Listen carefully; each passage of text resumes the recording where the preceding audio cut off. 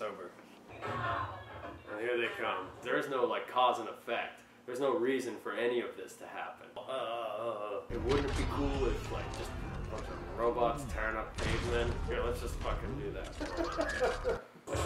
like by the time you try to understand it, an explosion happens. Fuck yeah!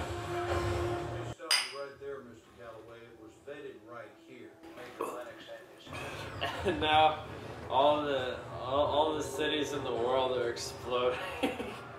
the world is out of control and this is what happens whenever you tell the Autobots to go fuck themselves. Finally, the real men are taking over, not the people who hide behind glasses and ties. The men with camos and berets. It shouldn't be about this this, this bureaucracy. Oh yeah, you oh you show up with your nice coat. And you know, keep a long distance relationship going with his hot girlfriend and watch her run in slow motion away from explosions. Uh, can we pause the movie? I gotta pee. Yep. Alright, this is the halfway point in the movie.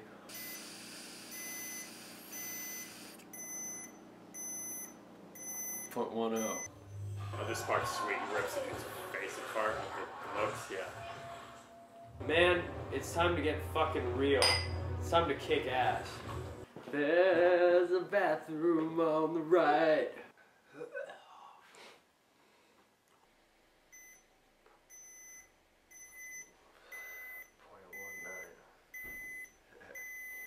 Uh, after Transformers 1, the, the Allspark got torn to pieces and blown up. Uh, Sam, he's about to get going to college, but because he got zapped by the Allspark, he's freaking out. And it's because the suits want to talk about it that the Decepticons know. We've located the Allspark. And that hot chick who wanted to fuck him at the party before uh, turns out to be a Decepticon. So he leads them to the museum. The, the old Decepticon stealth bomber guy teleports them to Egypt.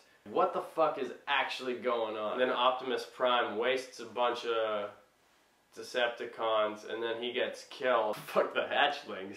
The Fallen wants to blow up the sun because they're like, well, we need to make more explosions and make some fucking, like, make a battleship movie with some fucking battleships and fucking army men and all that. Oh man, we're just stuck in Egypt. Why are we in Egypt? And the audience is asking the same question. E Ebonics kind of robots, one has a gold tooth. It's, it's like kind of racist. Throws them through the wall and there it is. There's the matrix of leadership. All you had to do was just go anywhere and yeah, you're gonna find it. They've got the, a bag full of dust. And then the military brings Optimus Prime to Egypt and we're gonna beat this bad guy who nobody's met yet. And the whole United States military is there waiting for him. This machine that's going to destroy the sun, for some reason humans built the pyramids over it. Uh, the overall message? The message is uh, explosion, explosion, robot, robot, robot. Who cares? What would you give Transformers to? Zero.